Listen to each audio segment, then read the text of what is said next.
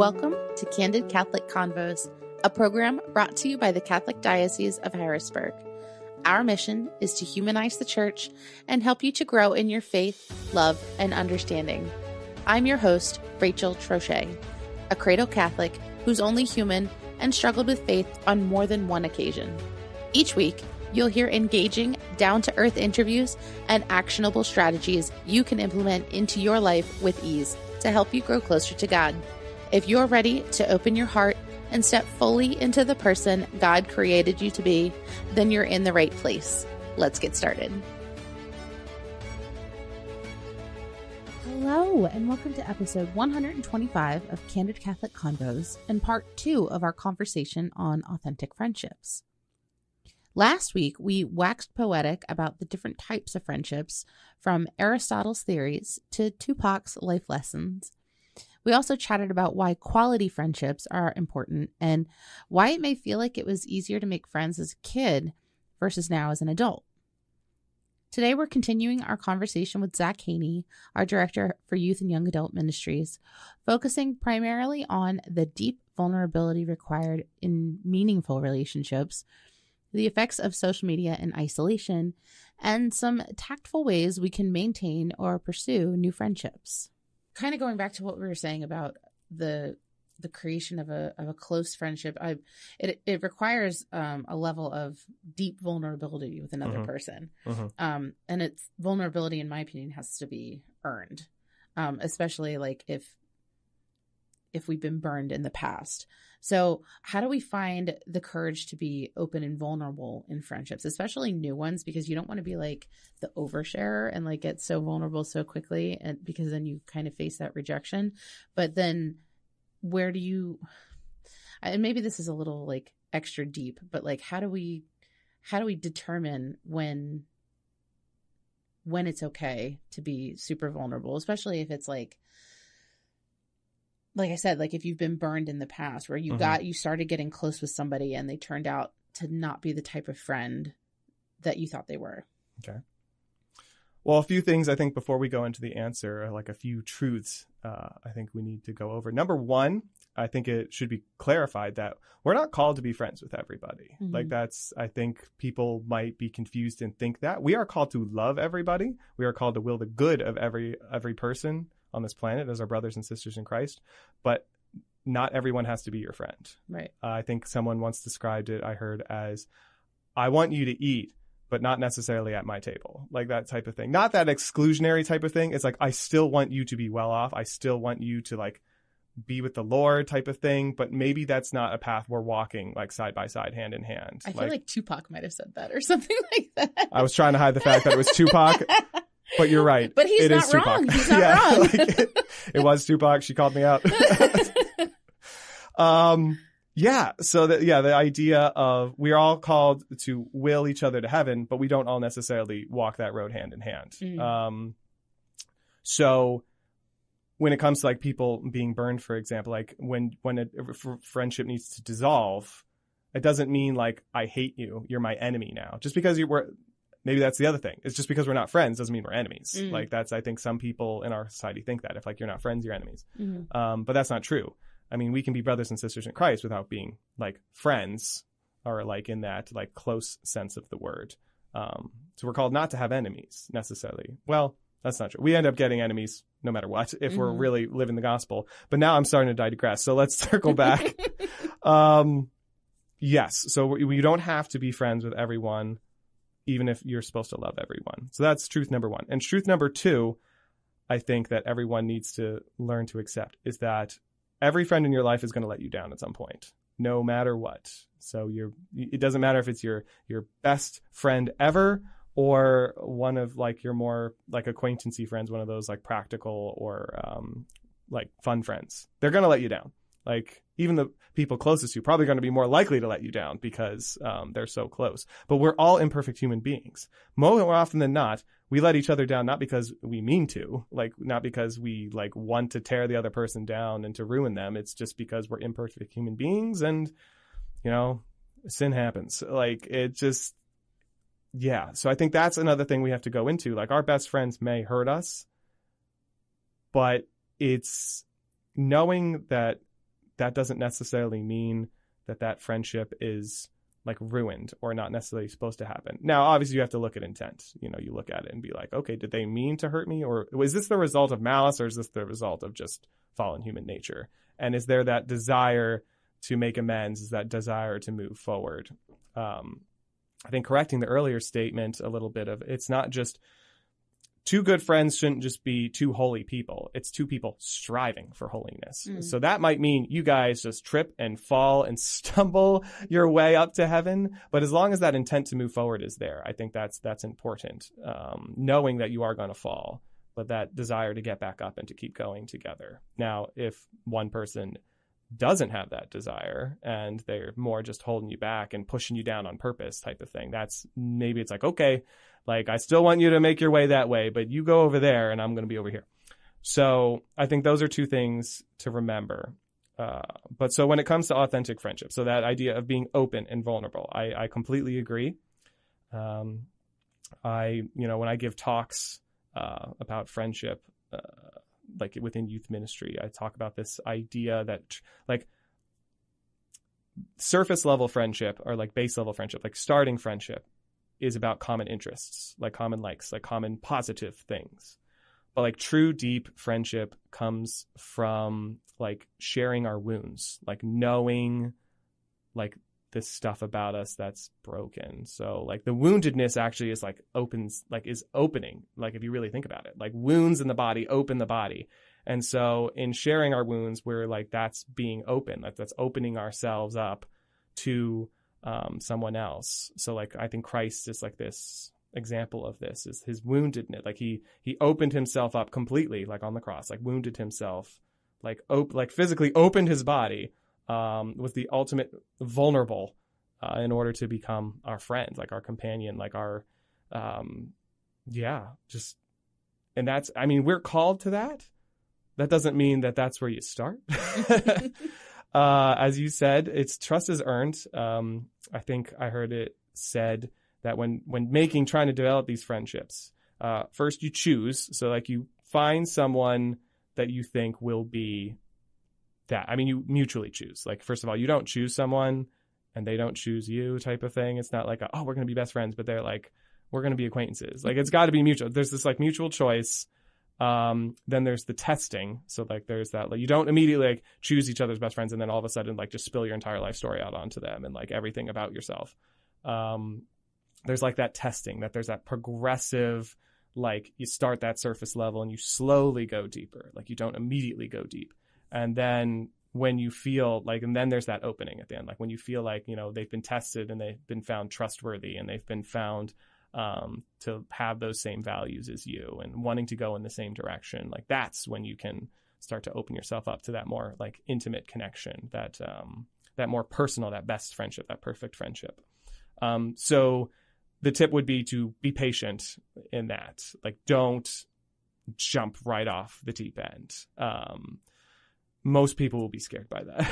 Both the sharers and the person you're that's being shared with is going to be like scared by that because you're gonna like share your whole thing and you're gonna be like, oh my gosh, what have I done? And the other person's gonna be like, oh my gosh, that was a lot. this is a lot of pressure, and I'm not sure if I can reciprocate that right now. So that idea of going slow, like go slow.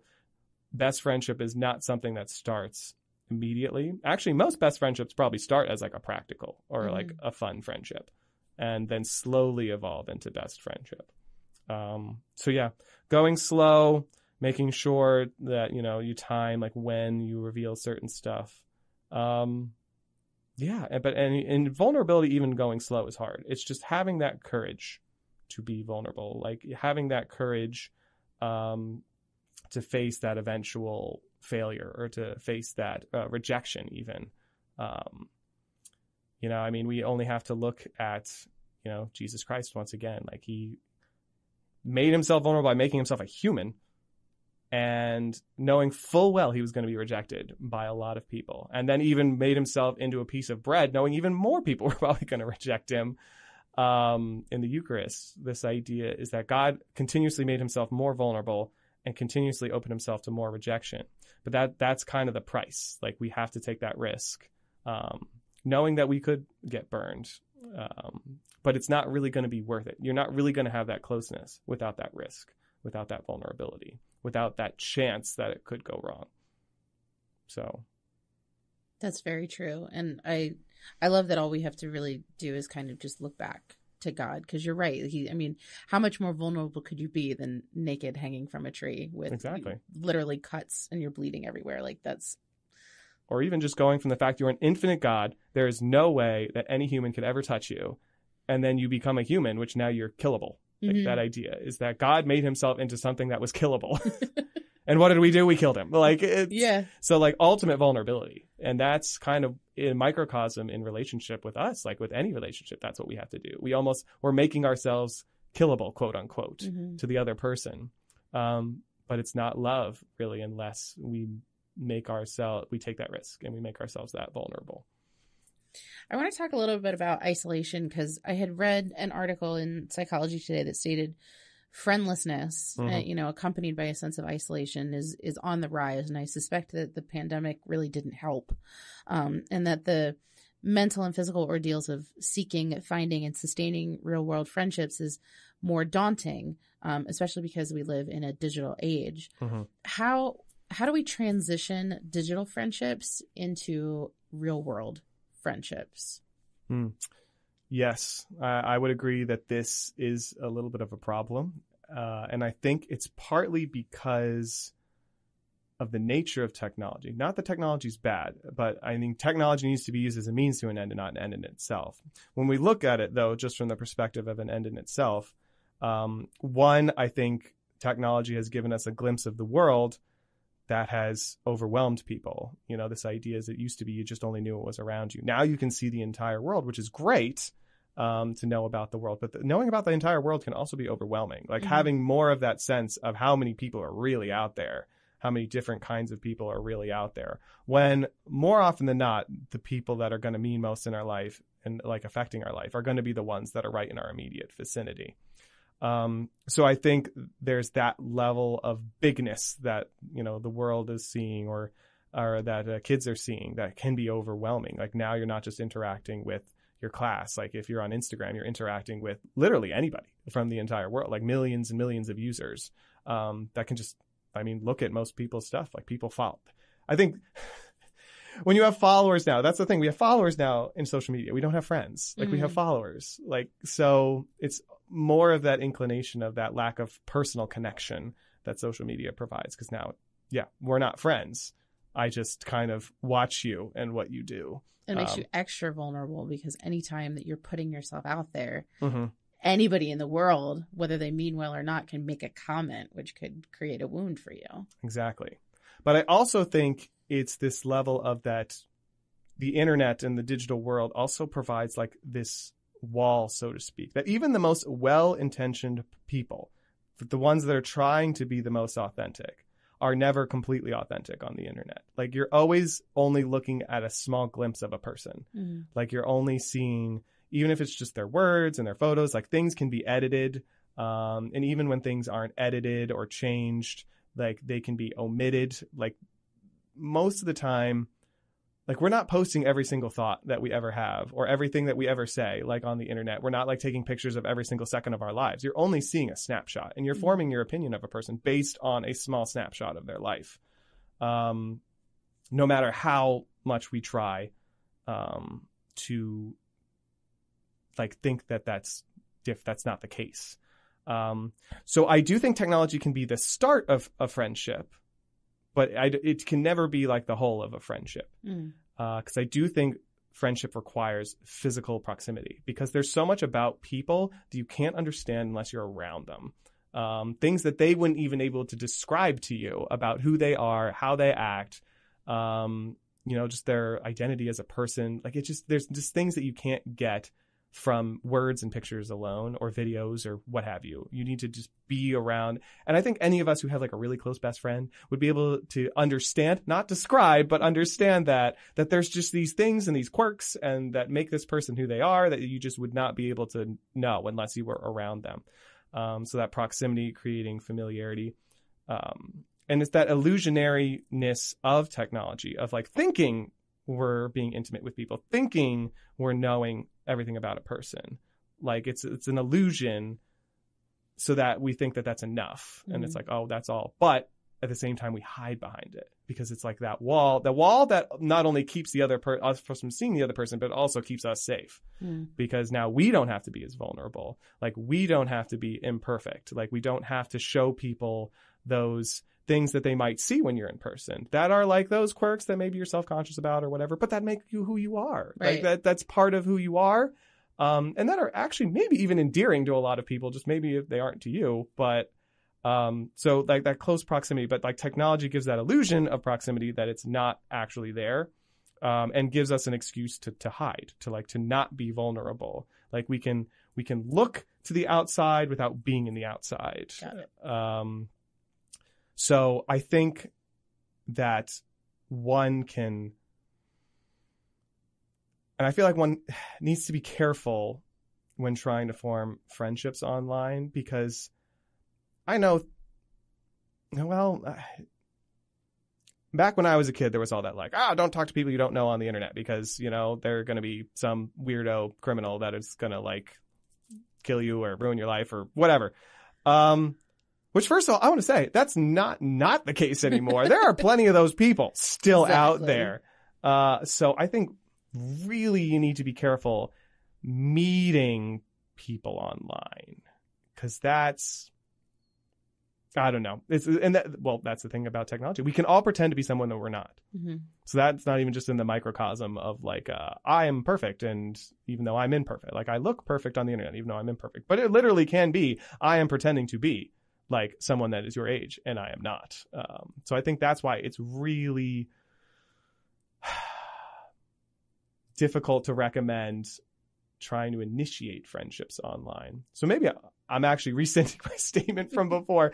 I don't think technology should be a gateway into friendships because of that, because you can't really know what you're getting into. I think it could bolster current friendships. That's Mhm. what social media used to be. It Mhm. used to be you were you were friends online with the friends you were with in real life, and that was like a oh we can communicate now and share about our lives even though we're not there all the time.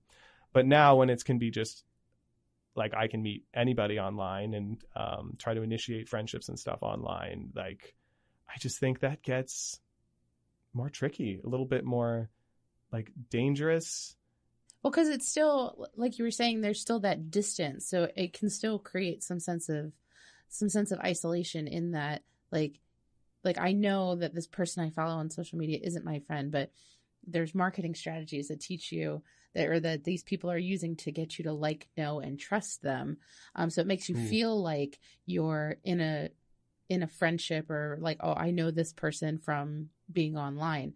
Um, but in reality, you don't actually know them. So it can Mhm. create this sense of isolation. And then if you are not within a physical proximity of your actual friends, like you feel like you start to you start to feel like the world is kind of like a lot smaller than it is and it can kind of create like make you retreat into yourself i guess um because i think the the technology like you said like i remember when facebook came out like it was only for college kids and you could only be friends with people that you knew Mhm. uh, and then it just kind of blew up into anybody who's anybody can have a social media account and can tell you anything they want um, whether it's true or not and uh, it's just it's like you were saying like i don't think we were meant to have so much access Mhm. to everything like in in a sense in one way it can be good but in another way it can be so overwhelming that you just feel like you'd rather just curl up in a ball and like not even look outside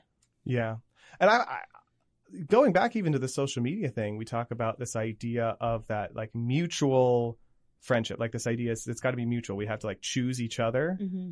That's the way social media used to be. Like on Facebook and stuff, it would be like I send friend request, you accept friend request. Now it's just you can follow anybody. Mhm. Like you, and it's more of like you follow someone first, and if you don't like that person following you, or someone follows you first, and if you don't like that person following you, you like you block them or something like Mhm. that. So there's not even this mutuality at the beginning of a lot of social media. It's just like I can follow this person no matter what. Doesn't matter if they like me or not. They so there's not that mutualness. That's why it's not really friendship. It's it's like you're not choosing each other. Like Mhm. just one party is choosing. Um and that social media, as you were you were brushing on, gives this illusion with big time personalities like you know uh, not even just in the secular world, like someone like a Taylor Swift, but also in even in the Catholic world, like someone like a Father Mike Schmitz, Mhm. is social media can give this illusion that we are friends with these people, um, but we're not.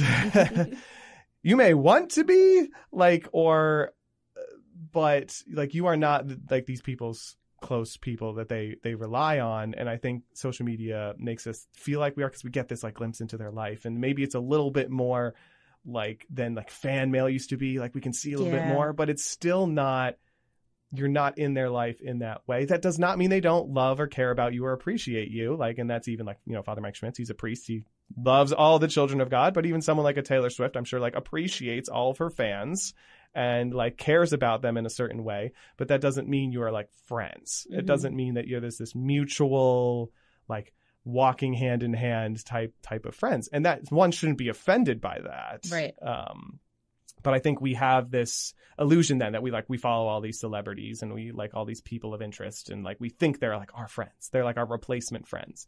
But they're they're really not. Um so i think that can be really dangerous when you get into that when like the people you follow on Instagram are more personalities than they are actual people you interact with. That's that I think can be a little bit of a problem and we can feel that isolation because I think our consciousness, I think it, deep down our subconscious, I think we know. Like we know that we might be trying to convince ourselves that like, oh, I have all these friends and I'm interacting with all these people like via the internet. But like deep down we know it's not the same like as um as spending actual time with people.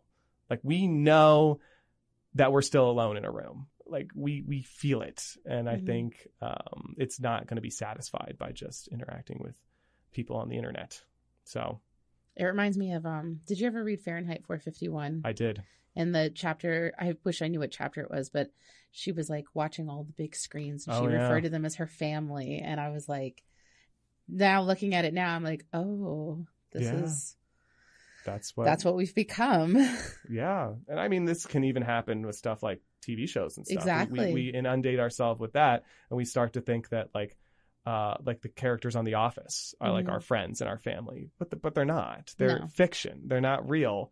Um, we might relate to them. We might be inspired by them in certain ways, or but we might feel like we are being seen by society by the fact that they're portrayed in a way that like is like us. But that doesn't mean they're our friends or our family. Um, so I think that's yeah, that's like we gotta uh, keep an eye out for like that. All stuff has its purpose, but they're they're tools. They're Mhm. means to an end. They're not an end in themselves. Um, like the TV show is that's entertainment and that's some way to relate, but it's not friends or like Facebook or other social media. It's meant to connect us or help us keep up with other people. It's like for information. It's not for bonding. Um, it by itself. Uh, it's just a way to help, I suppose, with that.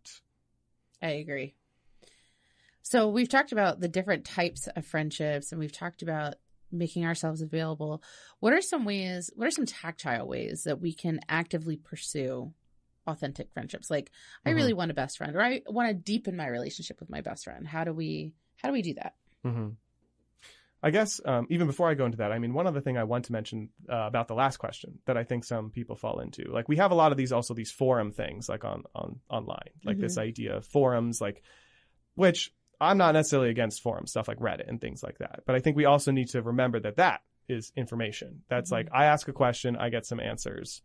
It's not those people are just because those people might care about you even like they might even care that you have like a like a like the answer is correct in a certain way but they're not your friends Mhm.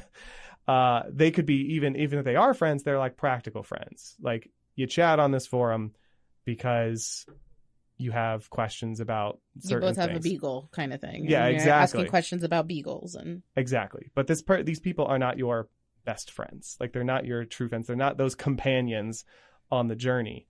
Um, so I think that especially I think has become a big thing recently is that, you know, we have these kids that are like throwing their whole trust at people on these forums. Um, because just because they have like some there are some good people on there or some people that like have right answers or some people that have this thing in common with them that all of a sudden they're this like really close confidant that um, that you can trust and all that stuff. But I think that uh, it's important to note that that is not necessarily like a replacement for friendship. They can be good people and they can um, like you can have fun with those things, but that's not a replacement for friendship. Um, Absolutely. so so okay, going to authentic friendships. Like what do we do? So brushing on those things we were just talking about. One of the biggest things you can do to find authentic friendship is just get out there. You have to be in places to meet people. That's that's the biggest thing. You have to be in places to meet people. I was once told a statistic that, um, and this may seem unrelated as I'm saying it, but I promise it comes back. Uh, that we are the byproduct of the five people we spend the most time with. Mm. So we are formed by those five people that we dedicate our time to.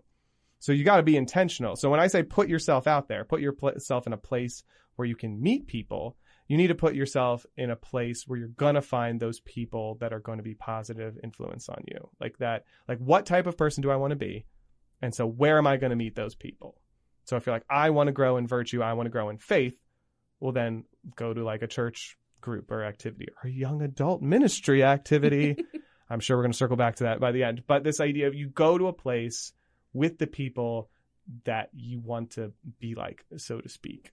Um, that doesn't mean you can't have like a friend that's, um, you know, even a close friend that like you don't agree with or you don't want to live a life like theirs.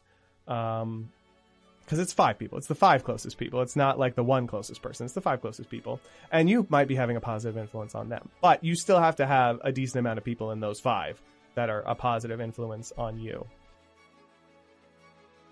We've unfortunately run out of time, but if you'd like to hear the rest of this episode, you can listen to us anytime on Spotify under Candid Catholic Convos, or you can download this episode from our website at hbgdiocese.org.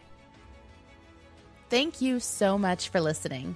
Our goal at the Diocese of Harrisburg is to walk with you on your faith journey. So if this episode resonated with you in any way, the easiest way to show your appreciation is by sharing this program with your network or by leaving a review on your listening platform.